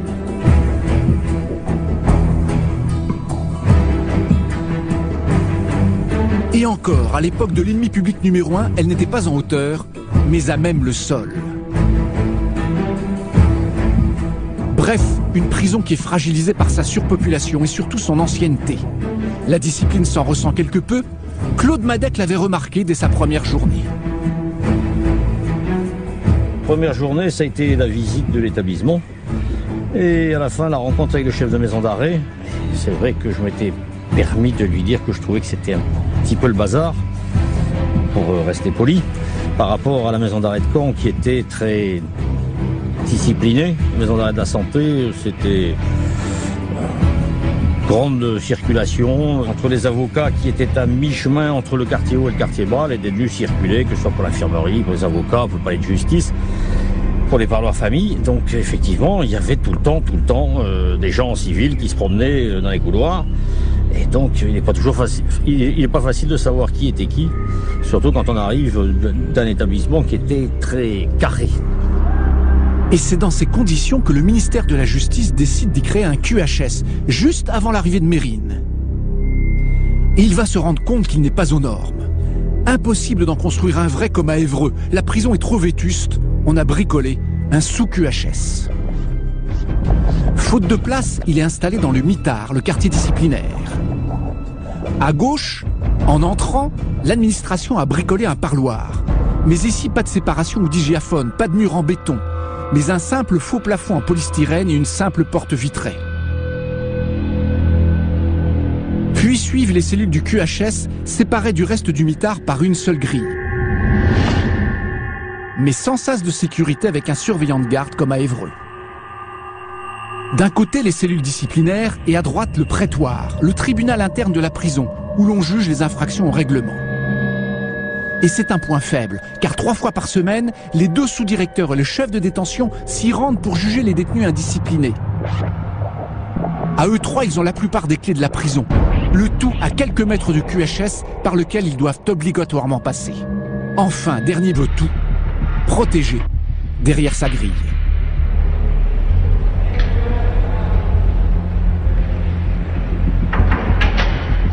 Ensuite, il ne faut jamais faire sortir deux détenus de leur cellule dans les coursives en même temps.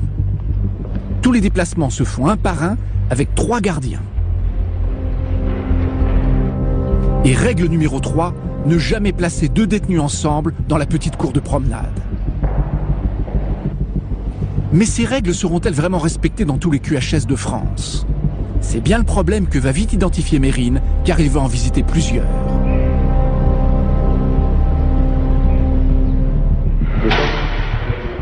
La première sécurité des QHS, ce sont les gardiens. Il y en a trois pour 10 détenus, là où dans le reste de la prison, ils sont un pour 100 prisonniers. Rien ne leur échappe. Mérine sait qu'il constitue le premier obstacle. Il devra soit les amadouer, soit les manipuler, voire les deux. Ils sont omniprésents, même sous la douche au fond du couloir. Les gardiens ne quittent pas le détenu des yeux. Et dès qu'il sort de sa cellule ou qu'il y rentre, le prisonnier est fouillé. Bon, allez, déshabillez-vous. Complètement. Vous mettez dans le coin. Et vous passez les affaires par ici.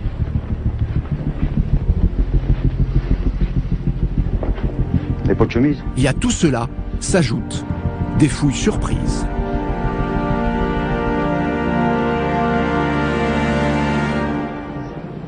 C'est une fouille surprise euh, qui est décidée le matin lorsque, lorsque j'arrive prendre mon service. C'est moi qui établis les fouilles sur un cahier. Alors sur un cahier, je donne deux noms, deux noms de, détenus, un le matin, un l'après-midi.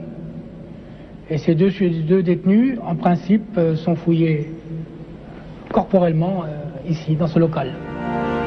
Pour éviter que ces fouilles soient trop approfondies, Mérine devra imaginer une astuce afin d'endormir la surveillance des gardiens. Puis il y a les parloirs, là encore spécialement aménagés au QHS et renforcés par rapport à la détention normale. Les parloirs de la détention normale ont été construits avec des panneaux de bois. Ceux-ci ont été construits avec des agglomérés de ciment, ce qui élimine totalement le passage de lame de scie à travers les jointures. Le seul point de communication qu'a le détenu est l'hygiaphone.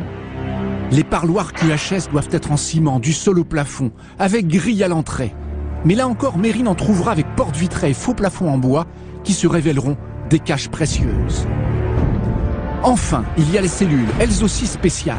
La porte en bois est doublée d'une grille avec un passe-plat pour ne pas avoir à l'ouvrir au moment des repas.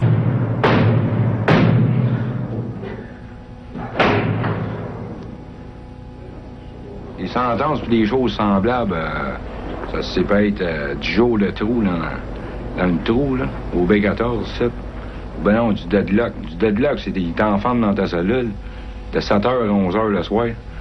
C'est pareil comme si, si voudrait te faire mal, tu sais. Mérine vit très mal sa première expérience de quartier de haute sécurité. Il contacte les journalistes via ses avocats et lance une campagne de presse contre le pénitencier, accusé d'abriter une chambre à gaz pour étouffer les détenus. Il donnera par la suite des interviews contre ses méthodes sécuritaires. Je m'appelle Jacques Méry. Messieurs les journalistes, le but de, cet- de cet enregistrement est simplement de vous faire connaître les conditions de vie exactes qu'avaient les détenus à l'unité spéciale d'opération. Spéciale d'opération. Un homme est extrêmement dangereux du jour où il n'a plus rien à perdre. Mais si vous agissez en chien, vous attendez pas à ce que nous on agisse en colombe. La prison n'a bien sûr pas de chambre à gaz, mais il a réussi à déstabiliser la direction. Le Français a créé l'amalgame avec les grenades lacrymogènes utilisées parfois pour calmer les récalcitrants. Philippe Roiset est documentariste. Il travaille sur Mérine depuis 15 ans, notamment sur sa période canadienne. Et selon lui, il a été traumatisé par son passage là-bas. C'était vraiment les, récidivistes, les obsédés de l'évasion qui étaient tous là. Euh, du coup, une surveillance accrue. C'était quand même un bloc de béton où il n'y avait aucune fenêtre. On appelait ça le sous-marin. Euh, C'était euh, une présence en, en, en cellule très très longue. Des lumières allumées tout le temps, des gardiens qui marchaient au-dessus des têtes pour surveiller, avec des hublots au-dessus de chaque cellule, mais pas de lumière de jour du jour direct qui rentrait. Non, c'était assez éprouvant. Le 21 août 1972, après avoir repéré le point faible de la prison, des cours mal sécurisés par des clôtures, il les cisaille et parvient à s'échapper avec cinq complices. Six évadés d'une unité spéciale de correction, les Canadiens n'en reviennent pas. Et ils n'ont encore rien vu. Deux mois plus tard, Mérine revient surarmé avec un complice, Jean-Paul Mercier. Et il donne l'assaut de la prison pour tenter de libérer d'autres détenus. Mais des voitures de patrouille les interceptent avant les clôtures, c'est la fusillade, il doit battre en retraite et réussit à s'enfuir sans se faire arrêter.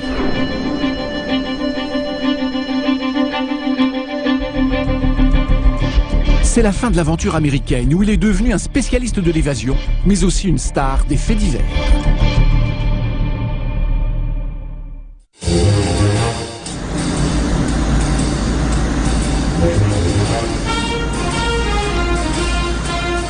À l'occasion d'un de ces transferts sous escorte. Mais de nouveaux gendarmes arrivent, c'est la fusillade. Mérine est touché à l'épaule. Cependant, son opération est bien montée. Un complice est juste là, dans une voiture moteur tournant. Il reste une estafette des forces de l'ordre à passer. Mérine tire, il blesse un gendarme. La voie est libre, il disparaît dans la nature. Sa première évasion sur le sol français signe son passage dans le grand banditisme. Mais au lieu de se cacher en province, il veut jouer les cadors à Paris. Il enquille braquage de banque sur braquage de banque. Il en attaque 5 en 4 mois, alors il se fait vite repérer par les superflics de la capitale.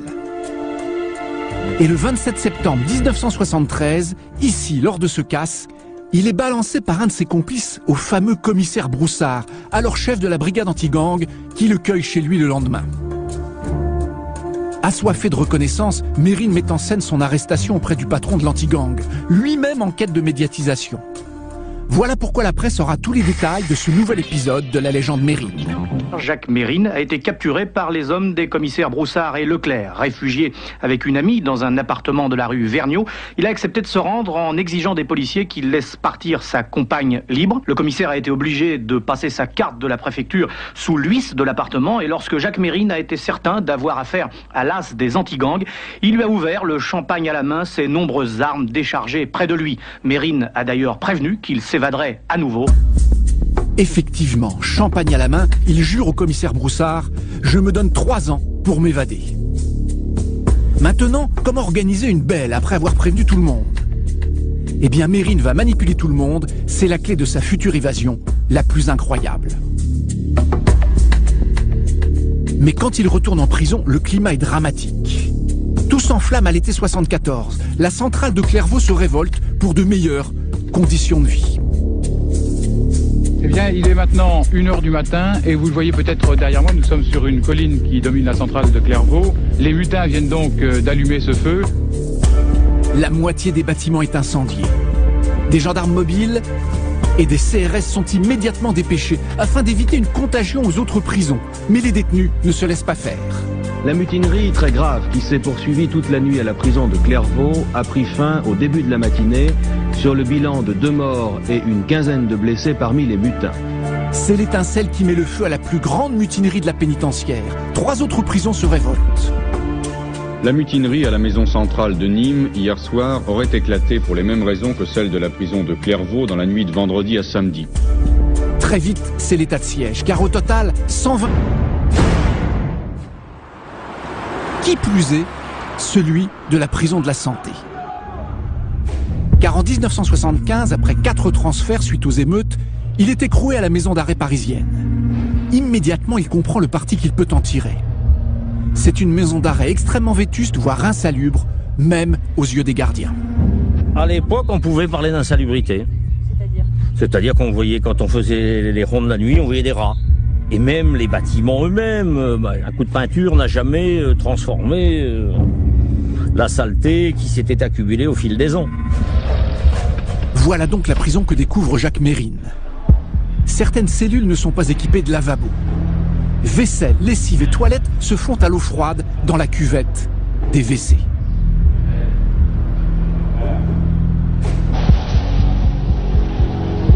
Quant aux douches, trois fois par semaine, elles sont dans un état lamentable. Peinture rongée par l'humidité, tuyaux complètement rouillés, murs décrépits. Des pièces sinistres, plongées dans une semi-pénombre, sans compter les pommeaux de douche hors d'état qu'il faut constamment rafistoler. La prison est alors à bout de souffle. Certaines cellules sont tellement dégradées qu'elles ont été laissées à l'abandon faute d'argent pour les rénover. Impossible d'enfermer des détenus dans de telles conditions. Dans cet environnement difficile, la prison compte en 1975 2200 détenus, trois fois plus que l'effectif normal.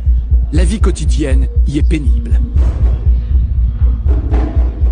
C'est une pièce, de, je sais pas combien qu'elle fait, dans les 10 mètres carrés. Hein. Ah, s'il y a un quatrième, le quatrième, euh, bah, il, est, il est au lit toute la journée. Il peut même pas se, se lever pour se déplacer. Alors. alors, il faut faire des concessions sur quel plan? Ah bah tout, sur l'hygiène et tout, faut apprendre à se laver les mains quand on boit aux toilettes, faut apprendre à, à, éviter de, quand on a les gros besoins à faire, de faire du bruit, éviter de pisser dans l'eau pour entendre le bruit des voisins. Il faut faire des concessions de la télévision parce que chacun veut voir sa chaîne. Pour ne rien arranger, les jeunes gardiens de 20 ans qui arrivent dans cette prison si sensible doivent tout apprendre sur le tas. Quand je suis arrivé, premier jour, deuxième jour, on m'a mis sur un étage et j'ai rencontré un surveillant ancien qui était au rez-de-chaussée du bâtiment qui m'a dit euh, si tu as besoin de rien, tu m'appelles. Donc euh, la formation se la fait très vite quand on a euh, 140 détenus à l'étage, 4 par cellule. On a très vite compris comment ça marche. Donc euh, en peu de temps, bah, défaut de formation, de toute façon comme je ne savais pas ce que c'était, à part ce que j'avais vu à Brest et à Caen, après on se fait son idée et puis on se débrouille comme on peut. À cette époque, la santé compte deux quartiers sensibles qui sont les mieux entretenus. Elles sont surveillées d'en bas par les gardiens qui se retrouvent eux-mêmes enfermés dans des couloirs grillagés. Ou alors, ils se réfugient en haut, hors d'atteinte, dans des petits miradors. Mais jamais dans les cours où se pressent jusqu'à 250 détenus, le rapport de force serait trop inégal. Et la vétusté compromet la sécurité de l'ensemble de la prison. Les fenêtres au milieu des années 70 sont simplement baraudées. La santé décide de les faire renforcer par des grillages supplémentaires. Mais pendant ces travaux, la surveillance se relâche.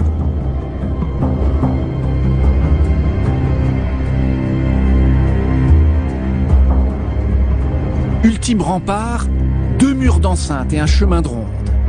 Mais pas de véritable mirador qui domine l'établissement. Aux endroits stratégiques, de simples guérites équipées d'une carabine.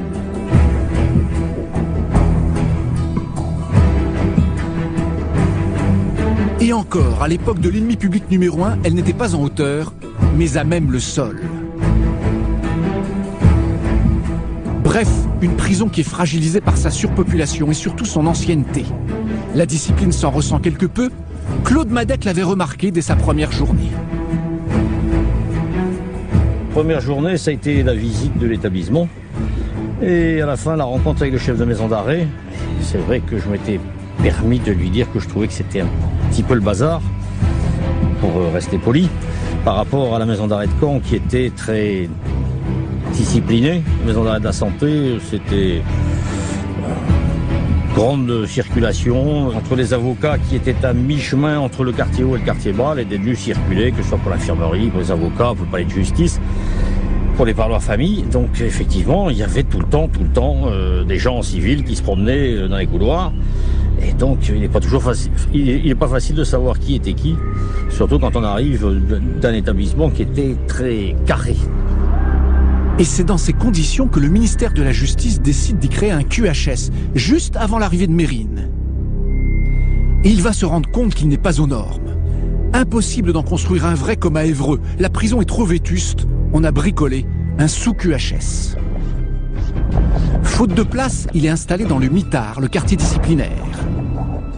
À gauche, en entrant, l'administration a bricolé un parloir. Mais ici, pas de séparation ou digiaphone, pas de mur en béton, mais un simple faux plafond en polystyrène et une simple porte vitrée. Puis suivent les cellules du QHS, séparées du reste du mitard par une seule grille.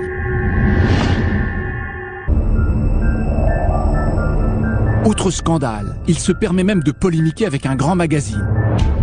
L'Express, qui en fait sa couverture parce qu'il a écrit à son rédacteur en chef une lettre de menace que la direction de la santé a laissé passer pour ne pas le contrarier. Alain Perfit, le ministre de la Justice, demande des sanctions. Le directeur de la prison est sur la sellette. Écoutez, moi j'observe deux choses dans cette affaire. La première, c'est le ras-le-bol de l'administration pénitentiaire. Qu'on nous foute la paix, je m'excuse de l'expression, et qu'on nous laisse faire notre travail. Qu'est-ce qu'on veut? Suspendre des détenus même dangereux au bout d'un filin et les laisser mourir à petit feu dans un établissement pénitentiaire Ou bien s'agit-il pour le ministre de la Justice, qui finalement est notre patron, de trouver tout de suite un responsable et lequel? Le directeur de sa prison. Je trouve qu'il y a un peu d'abus dans les deux cas. Il y avait plein de gardiens qu'on pouvait plus d'avoir d'entendre Mérine se, euh, se vanter constamment de ce qu'il avait fait, euh, euh, savoir la vérité sur tout. C'est épuisant à force. il pouvait être menaçant vis-à-vis des gardiens les plus entre guillemets faibles psychologiquement, mais il pouvait surtout harceler comme ça par des toutes petites choses, mais constamment. Et c'était épuisant. C'était plus épuisant que menaçant. Mérine a réussi à déstabiliser la santé. Elle est dépassée par le personnage. Le QHS n'en est pas un, et derrière ces hauts murs, les gardiens ne savent pas gérer un détenu aussi manipulateur. Au cours de son procès spectaculaire en 1977, l'ennemi public numéro un est condamné à 20 ans. Mais il est bien trop surveillé pour s'échapper, comme à Compiègne. Alors en pleine audience, il lance des clés qu'il affirme être celles de ses menottes pour montrer qu'il peut s'évader quand il le souhaite. Le directeur de la santé est le seul à prendre la menace au sérieux. Il demande son transfert. Une demande refusée, car dans l'attente de ses autres jugements, il doit rester à la prison parisienne. Les prisons en voulaient plus. enfin, chacun se refilait la balle. C'était, encore une fois, c'était un peu épuisant d'avoir Mérine chez soi. Donc, euh, donc il y, a eu il y a eu de ce côté-là une négligence. Comme il l'avait donc prévu et souhaité, Mérine ne quitte pas la santé. Il lui manque un dernier élément pour s'évader. Il va l'obtenir après une nouvelle bévue des autorités. Contre la promesse de se calmer, il demande à ne plus être seul au QHS. On lui envoie un autre détenu, mais pas n'importe lequel. François Bess, dit Languille.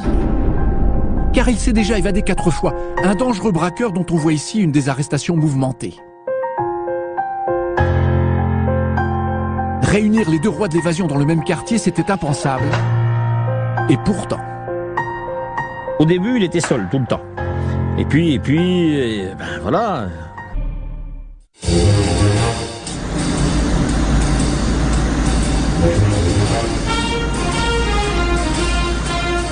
À l'occasion d'un de ses transferts sous escorte au Canada, Mérine salue à la manière d'un président les photoreporters qui l'attendent à l'aéroport de Montréal. Lui et sa compagne sont mitraillés comme des VIP de la presse People. Le braqueur prend goût à la médiatisation, il ne veut plus être un gangster anonyme. Célèbre outre-Atlantique, il reste encore un illustre inconnu en France où on sous-estime tout ce qu'il a appris là-bas en matière d'évasion. Et il va encore se perfectionner.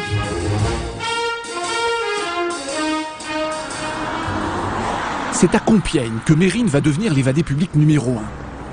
Nous sommes en 1973, quelques mois après son retour en France, où il s'est fait bêtement serrer. Pendant qu'il était au Canada, il avait été condamné ici en son absence pour une affaire de chèques sans provision. Et il savait que si un jour il était arrêté, il serait, rejugé dans ce petit palais de justice. Alors par précaution, il avait entièrement repéré les lieux et monté une éventuelle évasion avec deux complices. Le coup de génie, c'est Compiègne, parce que là, c'est un petit tribunal de province. On n'a pas du tout l'habitude de recevoir un animal pareil. Euh, Il y a eu, sécurité renforcée, hein, beaucoup plus de gendarmes. On a voulu lui garder ses, lui laisser ses menottes pendant le procès. Enfin, on a pris un certain nombre de dispositions. Mais le coup a été bien préparé à l'avance. Mérine a, fait casser par son avocat le procès euh, qui avait été rendu euh, où il avait été condamné euh, par contumace et, puis il se, il se présente à Compiègne et puis le coup réussit. La légende du roi de l'évasion prend forme ici. Elle a même donné lieu à une bande dessinée. Le mythe est lancé. Une fois arrêté, comme prévu, il est transféré dans ce tribunal. Depuis le matin, il fait croire qu'il a la diarrhée. Et lorsque pour la dixième fois il demande à aller aux toilettes, les quatre gendarmes qui l'escortent ne fouillent plus les lieux. Or, entre-temps, un complice y a caché une arme.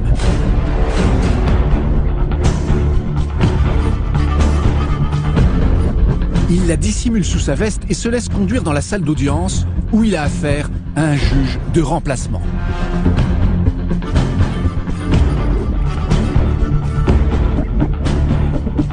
Bonne mémoire, c'était le 6 juin 1973. J'étais à ce jour-là président par intérim du tribunal de Compiègne et j'ai tenu l'audience correctionnelle. Pour le juge, c'est une toute petite affaire il ne se méfie pas. Subitement, Mérine braque les gendarmes et prend le président en otage. Il tire une balle en l'air pour montrer qu'il ne rigole pas. Il commande les portes et les grilles et il a été modernisé. Il dispose déjà de caméras de surveillance. Cabine 14 et demandez cabine avocat. La santé, c'est donc une grosse machine ultra sensible, car elle mélange des prisonniers VIP avec des détenus ordinaires. Claude Madec sera notre grand témoin. Il y commence sa carrière de surveillant à 19 ans quand Mérine y est emprisonné. La sécurité de la prison repose sur cette rotonde. À la rotonde du quartier bas, ça c'était le PC central où tout était centralisé, les mouvements, quand on changeait des détenus de cellules, quand on les affectait, quand on recevait les avocats, les visiteurs de prison, euh, le service du des agents, puisque le service des agents était établi par le chef de maison d'arrêt et trois agents qui tournaient un matin, un après-midi, un de journée, dont j'ai fait partie euh, un an après. Euh, donc c'était le PC central, les voitures de palais, puisqu'il fallait commander les escortes pour les détenus dangereux. Là, on n'est pas le droit de se louper. Mais la prison de la capitale de la France était-elle à la hauteur du criminel qu'elle allait accueillir en 1975 Pas si sûr. Car peu de Français savent que Jacques Mérine est déjà un très grand professionnel de l'évasion. Six ans plus tôt, en 1969, il s'envole pour l'Amérique du Nord et acquiert là-bas une irremplaçable expérience des prisons parmi les plus sécuritaires du monde. C'est à Montréal qu'il bascule dans le grand banditisme. Une affaire de kidnapping et de meurtre Et le voilà incarcéré au pénitencier de Saint-Paul. Une prison à l'américaine, comme il n'en existe pas encore en France. Une unité spéciale de correction avec mirador moderne, gardiens qui ne cachent pas leurs armes et murs imposants. Rien à voir avec les vieux quartiers de la santé. Surtout le bâtiment disciplinaire, une aile à part où sera incarcéré Mérine.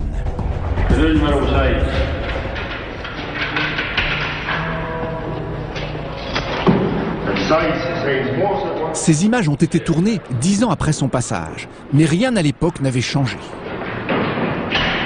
Isolement total dans des cellules particulièrement sécurisées, construites en béton armé, avec portes tout acier et surtout sans fenêtre extérieure.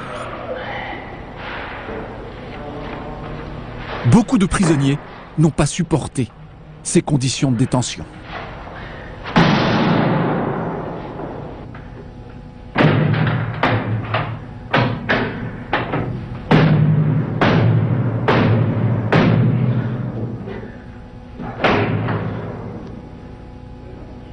Les sentences pour des choses semblables, euh, ça se peut être euh, du jour le trou dans, dans le trou, au B14, ça. forcer les fenêtres. Là, il les braque et leur ordonne de les suivre. Mais impossible de passer par la rotonde, trop surveillée, même en tenue de surveillant. Seule issue, une porte qui permet de passer de la cour au chemin de ronde entre deux murs. Normalement, elle est verrouillée, Seulement voilà, ils vont profiter du laxisme qui règne alors à la santé.